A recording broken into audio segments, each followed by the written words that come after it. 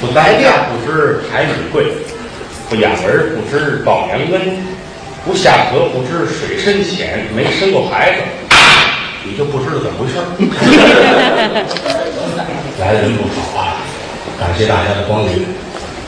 每周的周五、周六，我们在这儿说相声，以单口相声为主。为什么呢？平时这单口啊不容易听得见，而且单口不好说，它不像对口，俩人说相声，跟大伙说一相声，这能搭茬儿，说一什么呀？一个人这么说，就闹腾。当然了，只要是今天来的朋友，都是喜欢听单口。若不然，您也不来。人都这样，摘自己喜欢的事儿去做。每人都是如此，有喜欢的，有不喜欢的。万物是一个道理，明月皎洁，万物喜其滋润，盗贼却护其光明。大月亮日，大家都高兴，唯独小偷恨。这怎么下手啊？所以说，人都这样，有喜欢的，有不喜欢的，人都有爱好，人也都有怕的，是真的吗？是真的。说相声有一位刘洪仪刘先生，大耗子，大耗子、老鼠，一瞧见这个，完了。这人当时没魂了，站着不会动。刘洪一啊，于谦儿，我说相声怕什么呀？地上什么虫子，拿脚往上一踩，只要鞋底儿跟虫子一挨上，这人算死了，害怕难受啊。天津有一位刘学仁刘先生，怕蚂蚱，蚂蚱、蝈子。蛐蛐，这类草虫子怕，我也问过，为什么怕呢？他告诉我一个答案，我觉得他那脸不会动，看着瘆得慌。我也有怕，我怕蛤蟆。当然了，我很喜欢吃炒田鸡。他蹦的时候我怕，他搁在碟子里，我是很喜欢。人都这样，有喜欢的，有怕，不一样。我怕蛤蟆吗？可是所有动物里边，就是蛤蟆这一样，除此之外都喜欢。尤其喜欢小狗，无论什么狗，我养了好几十只，到现在为止。啊，当然陆续有丢的，有死的，有送人的，多大多小都养过。没事上丰县去玩去。那儿有狗市，我那天我还去了，周六上午，一进门有一狗贩子给我叫住了，您看看我这狗多好，跟你踏实呢，手里牵着链，我这狗真正欧洲血统啊，祖传七辈都是冠军，没这么聪明的，没这么灵的，没有这么好的狗。我说多少钱呢？一万四。买好狗一万四也是有的啊！我说有这么聪明？当然了，来站起来，给这大哥先学个学狗走道。别挨骂了，就是学狗啊！要买狗啊，上人这个专业养狗的人家里买啊。这个呢，你能瞧见，心里有保障。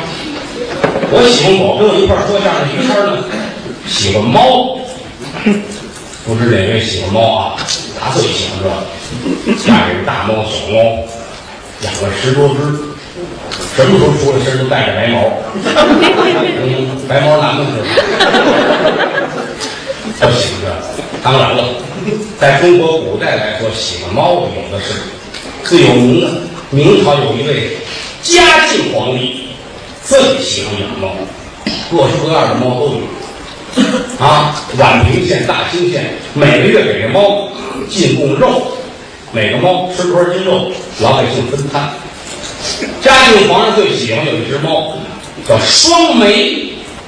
怎么叫双眉？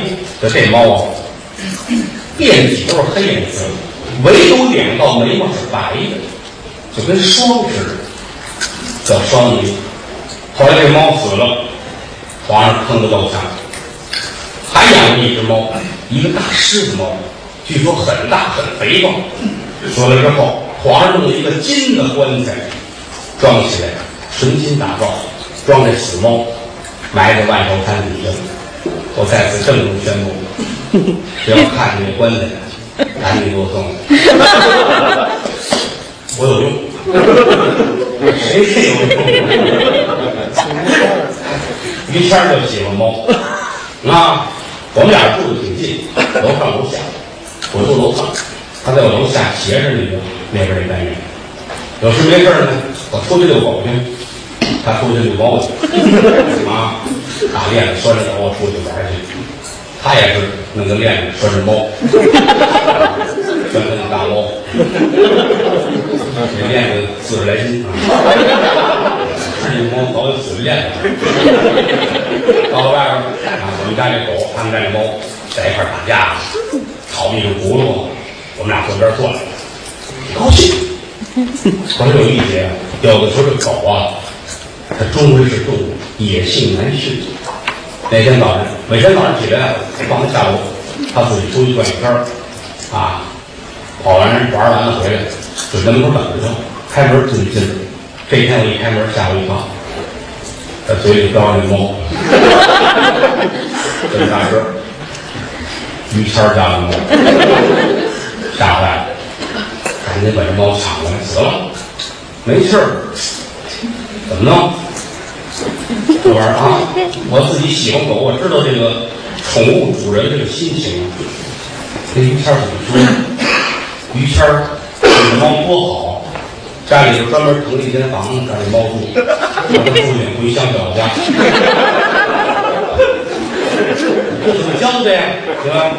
谦儿哥一片孝心，回来回来我怎么那么气着我？你说打我这狗啊，我也下不手。还有救吗？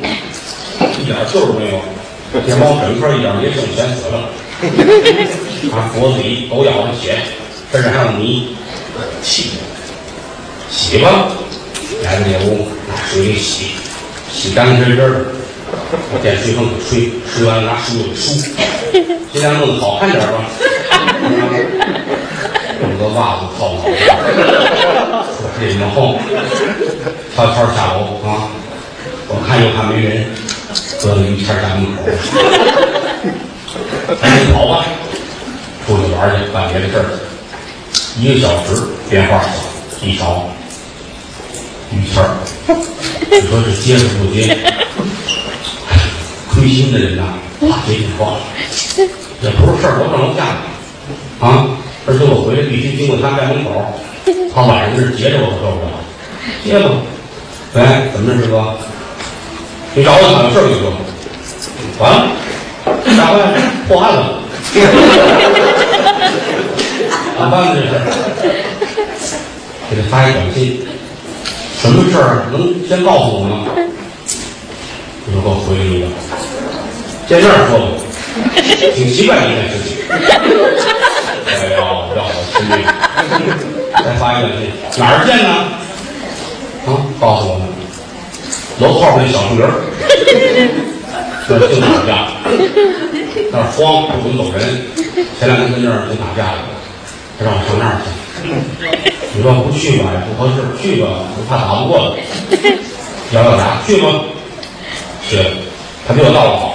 远远看他车跟着，在车底下车后一天，我赶紧下车，哥，哥，怎么呢？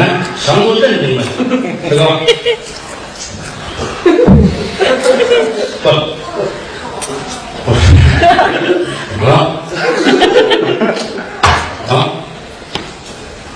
我那猫死了啊！是啊，跟我说这干嘛？这猫死了，我把它埋了，怎么又跑我门口来了？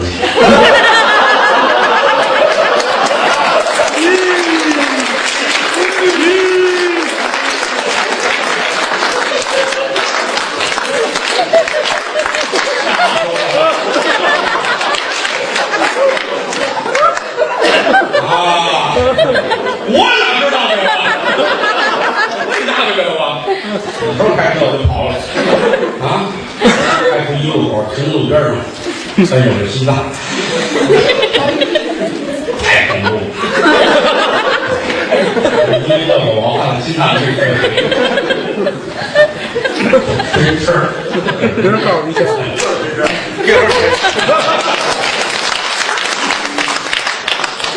当然了，呃在中国来说，提起动物，大伙呢一般来说都好，尤其中国人很善良，对这个动物非常喜爱。古代咱们不知道，拿近现代来说，好多方面能体现出来中国人民热爱动物。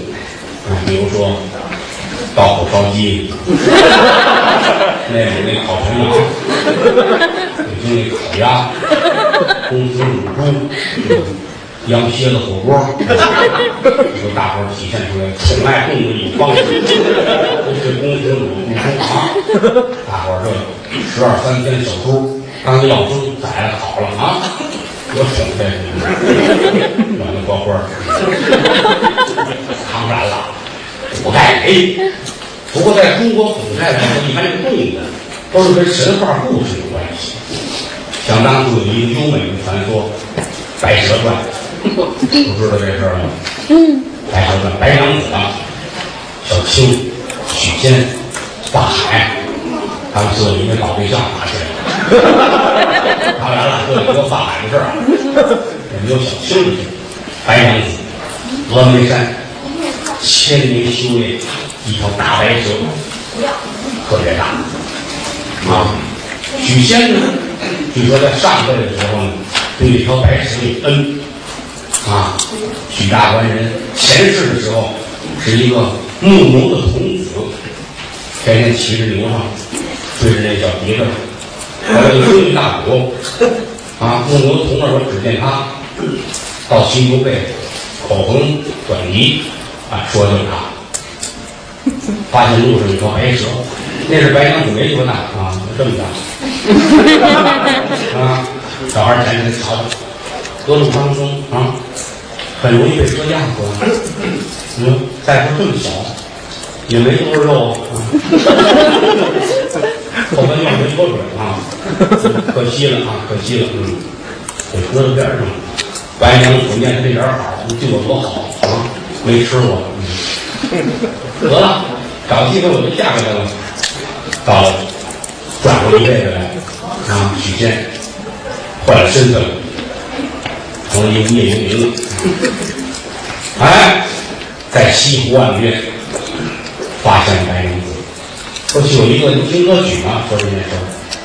杭州应该是无双新娘，心花一草，四季馨香。这春游苏堤桃红柳绿夏长，荷花映了池塘。这修了观明月如同碧水，东看润雪铺满了山岗。我表的是峨眉山不是下将，在这上天怒恼了张玉皇，可以鼓掌。再祝福大伙一遍啊！别跟我唱给你听了，好歹唱几句就鼓掌。咱就气门口那帮卖鞋的似的，你哥们说白娘子，后来俩人挺深，挺好。后来端午节的时候，这位大海老禅师走到大街上碰见许仙了，这儿一喊呢，嘿嘿，来来来，许仙吓一跳，啊，怎么回事？哪儿的这人？这位老老行长，您身份证要搞迷信吗？啊，搞迷信吗？你媳妇是妖精啊！许仙很不解气，但他是念书人，他不能说别的啊。你媳妇是妖精，我不信啊！他还没办法，叹口气，你就作吧你，知道吗？今天重阳佳节，你去买点那个雄黄酒回家，两口子一块喝，知道吗？你看完事儿，喝完酒之后啊，他什么样？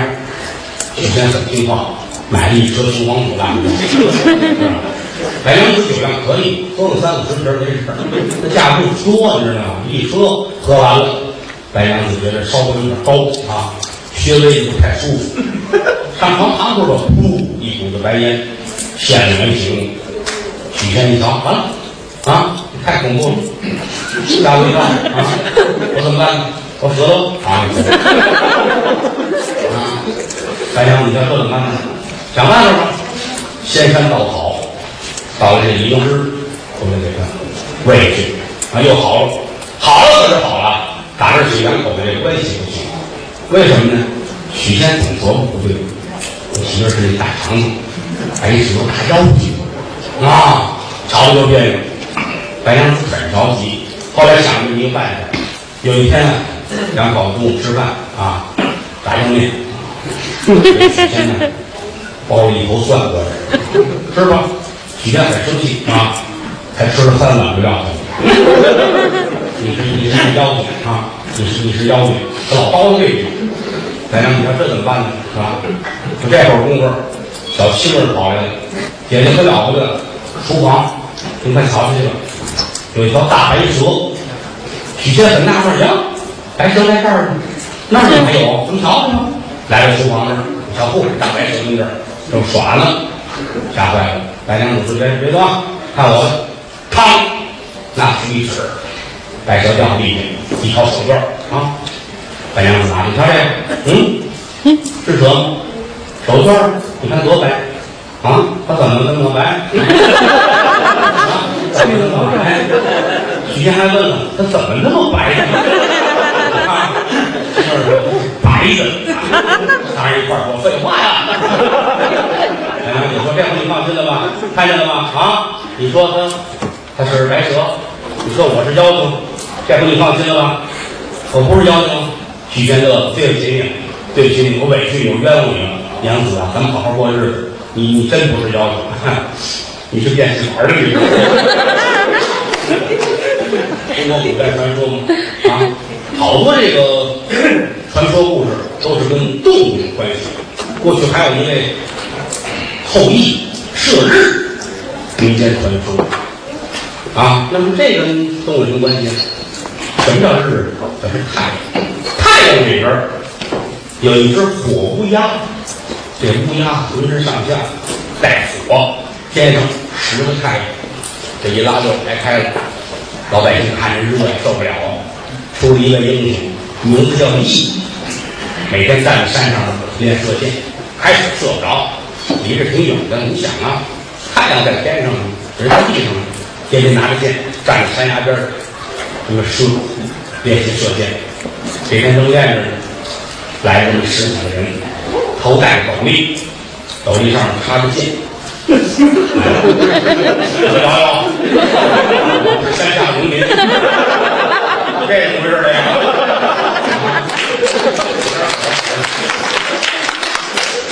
说这事儿，后来练成功，嘡嘡嘡嘡嘡，一射射了九个。哼，大伙说羿是一位民族英雄，了不起的人物。后来跟嫦娥结婚了嘛，啊，美女嫦娥两人成亲了。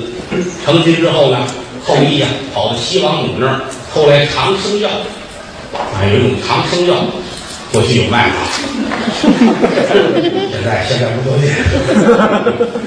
后来，说你看这个啊。一共这么这么一盒，咱俩人吃吃完，咱能长生不老。啊，能飞起来。来这就睡觉去了。嫦娥呢，嘴急啊，也没等着他，自己一个人弄张饼，卷起来全吃了。吃完了，浑身觉着燥热难当，噌就飞起来了。啊，李商隐有这么两句诗吗？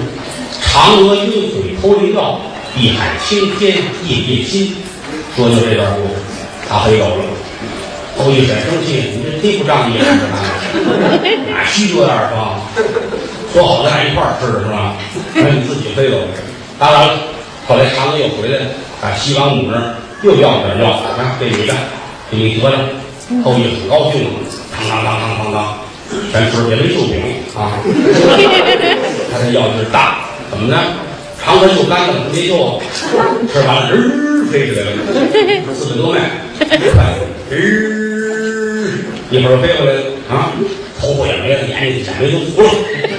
长根一跺脚啊，笨蛋了吧？谁让你往太阳那儿飞？烧着了吧？所以说，中国古代有关动物的故事，一般来说都跟神话传说有关系啊，这是传说。现实生活当中，其实我们对动物了解并不是非常的多。可是呢，老先生们、前辈们呢，也有一些总结，啊，有一些总结。比如说，你到山里去玩去，山民呢会告诉你，碰见狼怎么办，碰见熊怎么办，啊，碰见各种动物怎么办，碰见什么野跑了，碰见毒蛇怎么办？啊，蹬一下蛇，咬了这手指头，怎么办呢？拿一口往嘬，把这血嘬出去，然后呢，在这个手指根上拿绳子、拿布条勒住，不要让这个毒血往里边蔓延。然后呢，赶紧出山，找地儿治，只能缓一时啊。如果说你等不了呢，你就躲了，一切也是个法儿。啊当然了，咬到手指上一切管用啊，咬到这儿。就躺在那儿等死就完了。碰见毒蛇了，碰见狼呢，有办法。狼这种动物，习性既凶狠又野蛮，而且是善财多疑。啊，狼这种动物，进山的时候，你最好带把雨伞啊，或者呢，弄根木头棍儿，这木头棍儿送脑袖子里边，露着一头。走着走着，对面哇来狼了，怎么办呢？你让他瞧瞧这棍儿啊，这么一蹬，嘣，狼一会儿就跑啊？怎么呢？他这个东西是怎么回事啊？哎，还能往外伸啊？到底得有多长啊？很难的，当然最好是雨伞啊，雨伞最好。你瞧见他了啊？赶紧蹲下，赶紧蹲下啊！然后把伞打开，撑开，狼就跑了。瞧是人，挺高的，怎么矬了？而且是尖儿的，怎么就圆了？好，当然了，他要见多了，他后来他一不相信，他知道这是伞，你就带一个摁的那个，这是钉，也好啊。当然了，嗯，这个法儿不是百试百灵啊。一般来说呢，不碰见狼，这花儿挺好使。我可不负责啊！哎，你看啊，带着四把雨伞，给狼群了。说完年后，发现四把伞跟一个医生扔地上，这个别找我啊！我不承认，嗯，是吧？用的肯定是天还有这个熊，哎，熊这东西有意思，个儿也高啊，高个儿，啪，嘿，来一手。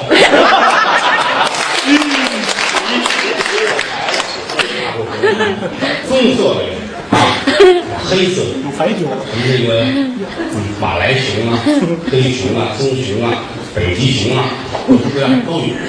熊这个动物有好处啊，过去来说，熊胆能够配药治病啊，熊掌呢能吃啊，熊掌是发针嘛，当然这好熟的，因为这个发的过程当中啊，呃，怎么泡啊，怎么拆骨啊，这是门学了。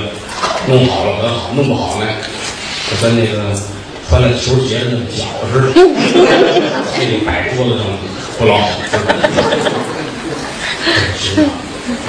当然了，说想跟深山老林里碰见熊啊，挺麻烦。为什么呢？你打不过，站起来好两米多高，那劲儿也大。其实大伙儿误会了，熊不是很凶猛，他瞧见人他高兴啊。你到我山里边，熊在走山里边，熊乐了，你瞧，啊，越看越高兴啊，这么热的天儿，你看人家换衣裳，我还穿着皮袄。你说你你怎么那么聪明呢？啊，那咱们拥抱一下吧。啊，他把你搂住了，搂住他瞧你，这脸就光滑啊！看自个儿的脸上这大皮套，你说你这脸怎么？那么？光滑呢？我要舔一下，不就更光滑了吗？哇，大舌头一舔，上头倒刺儿，这大老脸连皮带都没了啊！鞋下来，他也纳闷儿，你瞧。一下给舔脏了，再来一下吧，三下啊，看见脑仁了，这是熊啊。那么？说熊的浑身上下，你是拿棍子打，你是拿板砖 K 它，一般来说都不管用，唯有胸前这白月牙儿打这儿才是致命的。为什么呢？他身上穿着铠甲。有人说胡说。光看他穿皮带衣了，瞧见铠甲了，那您得明白，这个东西啊，它爱在松树上蹭痒痒，松树好多的松树苗啊，留下那胶水啊，它在什么上面蹭痒痒，蹭完之后呢，跟地上一打滚儿，地上有的小石头子儿都沾上了，身上就修个马路，拿炮轰，撑死一根子。没事儿，非得是打胸前白月牙。有经验的猎人都是拿着枪等着，找一旮旯眯好了，赶他一站起来，当一枪打胸口这儿，一枪打不死，你赶紧跑到后边追你啊！这一追不要紧，拿风往里一灌，顺着窟窿，风往里一灌，他难受，他就蹲下。这一蹲下，肠子什么的顺着窟窿就出来了。他聪明啊！他拿爪子呀缠好了，他往里边送，送进去之后，他接着跑，又带出来了。来回这么几下，血流差不多了，也要死了。啊，这打熊的秘诀。那么说，就是为了吃熊掌才逮这熊吗？不是，山区里的这些山民呢，有的时候是为了得蜂蜜，悬崖峭壁。有这个蜜蜂的藏的蜂蜜，人够不着，唯独熊上不去。他知道跟哪儿，弄来之后，刨坑买好了，盖上土。他也吃，也喂小熊啊，弄一堆小熊，弄出来带他们去吃蜂蜜。来到小和尚啊，头上罗个发夹，二上活活虎的，都弄过来之后，怎么喂呀？打着锅一边夹着牛，手里还泡着牛。来到这儿，把这蜜蜂的这蜂蜜弄出来，拿爪子一包，往嘴上抹，抹一个喂一个，抹一个喂一个，这一股脑子不吃了，倒下来，把这窝这个弄出来，这仨都喂完了，送过去，摘了这仨，倒着班喂，最后他吃了。哎，山民们、猎人们，一瞧见他埋这儿了，偷着把蜂蜜偷走了。还有人开玩笑，蜂蜜弄走了，给弄一桶大粪搁来 狗熊哪知道啊？带着孩子吃饭来了。来来来，有新鲜的，来来来。弄到这儿，啊，都夹好了，拿过来，一掰孩子这嘴，啊、那玩意儿能好吃吗？偷偷一过脑袋，不吃，不吃换一个，这锅这要吃，仨都不吃，还挺生气，不吃我吃吧，俩手一捧，偷。更臭啊！自己也臭了，仨孩子也臭，怎么办呢？洗去吧，带着仨小熊在河边。可是小熊淘气，真放下洗这水，俩都跑了。怎么办？有办法，找块石头压上。多大他也没准儿，他多大劲儿就搬多大块儿。洗洗干净一接这石头，压死了。